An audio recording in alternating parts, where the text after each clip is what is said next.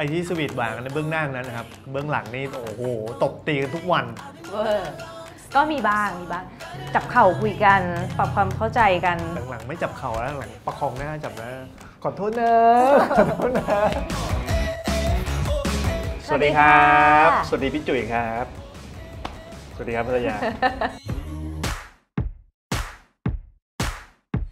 โอ้โหโอ้ยตอนนั้นยุค MSN นะครับ เวอร์เว้ยปี 54 น้ำท่วมหนักแล้วเขาจะมีแบบบิ๊กคลีนนิ่งดาราดีเจ นี่เขาว่าเป็นสายดาราเขาก็ไปขัดอยู่แถวปทุมฮึบฮึบฮึบโอ้เข้ามาคอมเมนต์มากสวยผมบ๊อบไม่มีอะไรเลยก็คือแต่งนี่ตัวธขัรรมดาขัดโยข้างแล้วก็บอก เฮ้ยโหจุ๋ยภรรยา สวยจังเลยอะอะไรเงี้ยแต่ว่าตอนนั้นเราก็ไม่ได้อยู่ในสายตาเขาไงเวอร์หนูก็ไม่เวอร์จริงๆแต่จะมีรูปนะจะมีรูปมีรูปว่าแบบอ้าว เขาคือเขาอยู่ตรงนั้นจริงอยู่ๆอะไรอย่างจริงๆเงี้ยเราแต่ว่าไม่ได้ไม่ได้จำไม่ได้จริง ไม่ได้ไม่ไม่ได้ชอบแต่ว่าได้เจอตัวจริงเขาครั้งแรกแล้วก็รู้สึกว่าเฮ้ยสวยกว่าในทีวีเยอะมากเลยอะเออนี่เหรอจุ๋ยภรรยาตัวเล็กมากเลยเนาะตัวจริงอะๆ จิ๋วอืมตัวจิ๋วๆหน้าแค่นี้ฮะ สวยเป็นคนที่สวยมากก็จำได้ติดตาตั้งแต่วันนั้น I will live on, babe. I will live on. ๆตอนนั้นน่ะก็เป็นเหมือนแบบ เล่นละครเราก็เหมือนได้ข่าวคราวความเจ้าชู้ของเขา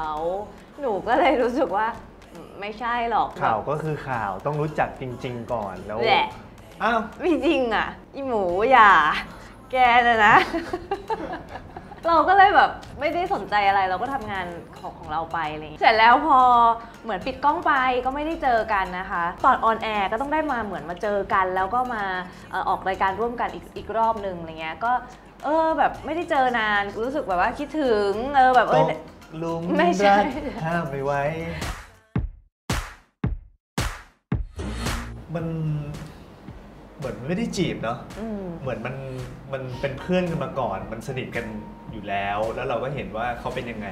ชอบไปแล้วอะไรอย่างเงี้ยแก่ไปแล้วตอนนั้นคือแก่แล้วแล้วโค้งสุดท้ายแล้ว ต้องรีบคุยแล้ว อะไรโค้งสุดท้ายอะไรนี่เพิ่งจะอายุยี่แปดบ้าปะเนี่ย ก็เออใช่ใช่แล้วก็ยี่เออยี่หกจริง แต่ก็มีบ้างแบบว่าเขาเป็นดีเจก็แบบแอบเปิดเพลง สื่อความหมายเบาๆในช่วงนั้นบ้าง ขอเพลงเขาขอเพลงอุ้ยวันนี้เปิดเพลงนี้ให้หน่อยได้ป่ะเดี๋ยวจะฟัง วันนี้อยากเปิดเพลงอะไรให้อะไรเงี้ยเขาก็ไปเลือกเพลงความหมายดีๆ มาเปิดให้อะไรเงี้ย ฟังแล้วรู้สึกไงตอนนั้น มีใครแซวไหมไม่มีใครแซวเพราะไม่มีใครรู้ก็ยิ้มยิ้มๆอยู่คนเดียวในใจ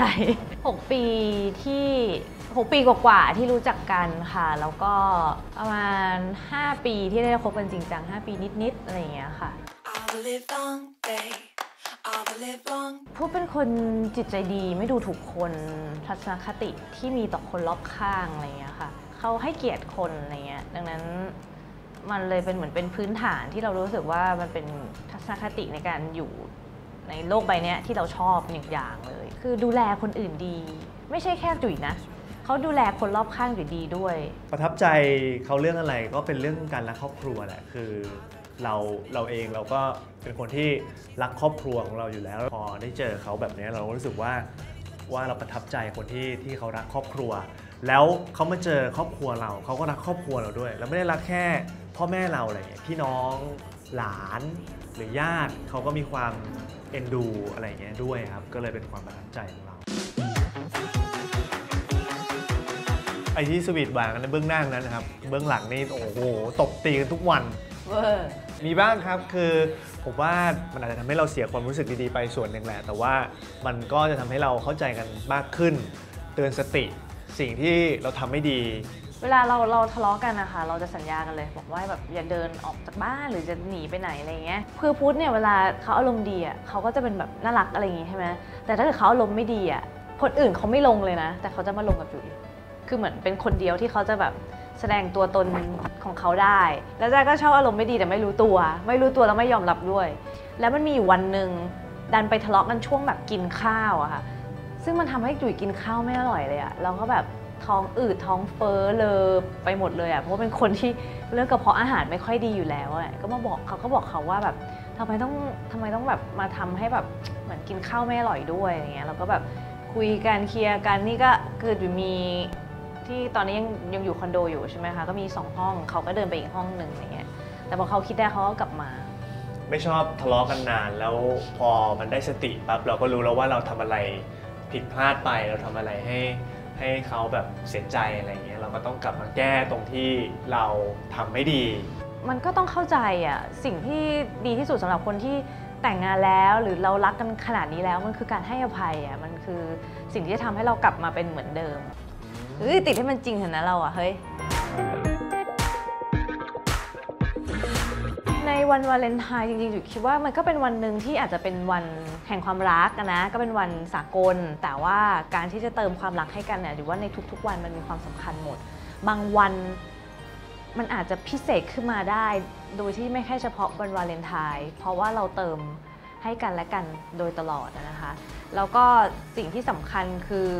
คู่จุ๋ยเป็นคู่หนึ่งที่แสดงความรักต่อกัน คือไม่ได้เขินที่จะมาหอมแก้มกันจับมือกัน แต่ว่าทั้งหมดทั้งปวงต้อง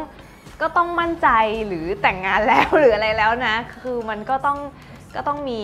เส้นบางๆตรงนี้ด้วยในการที่แบบเออเราจะแสดงความรัก เราก็จะแสดงความรักต่อคนที่เราเข้าใจว่าเขาเขาเขารับเราได้อะไรอย่างเงี้ยวาเลนไทน์ปีนี้ก็เติมความรักให้กันแล้ว ก็อย่าลืมเติมความหอมให้กันและกันด้วยอืมถ้าเกิดว่าวาเลนไทน์ปีนี้ ถ้าอยากเปลี่ยนจากดอกไม้ ดอกกุหลาบ ช่อหนึ่งไปเป็นอย่างอื่น ก็แนะนำมาดามฟิน มีให้เลือกหลากหลายกลิ่นมากก็ให้เป็นของขวัญวันวาเลนไทน์น้ำหอมก็ถือว่าเป็นสัญลักษณ์ของความรักอีกหนึ่งอย่างเหมือนกันนะครับ ถ้าแนะนำเลยนะ ลองจัดเป็นแบบกระเช้านี่นี่ฟินอินเลิฟอะเพราะมันเป็นสีแดงอะอ่า เป็นตัวแทนของแบบดอกกุหลาบ แต่เราสามารถกลายเป็นของใช้แล้วก็ให้ได้ด้วย มีคุณแม่ของเพื่อน บอกว่าแบบให้ลูกสาว คือเพื่อนสนิทจุ๋ยมาถามจุ๋ยว่ายังไงซื้อยังไงคืออยากได้อะ คือขนาดคุณแม่อายุ 60 กว่าแล้วยังอยากจะใช้น้ำหอมเลยอะค่ะคือจุ๋ยคิดว่ามันก็เป็นอะไรที่ตอนนี้ก็เรียกได้ว่าโด่งดังแล้วก็ตอบโจทย์คนจริงๆสำหรับน้ำหอมมาดามฟินอันนี้ก็หลีกเลี่ยงไม่ได้เลยนะอืมก็ต้องยอมจอมเขาจริง จอม ๆ ยอม oh, oh, oh, oh, oh, oh, oh.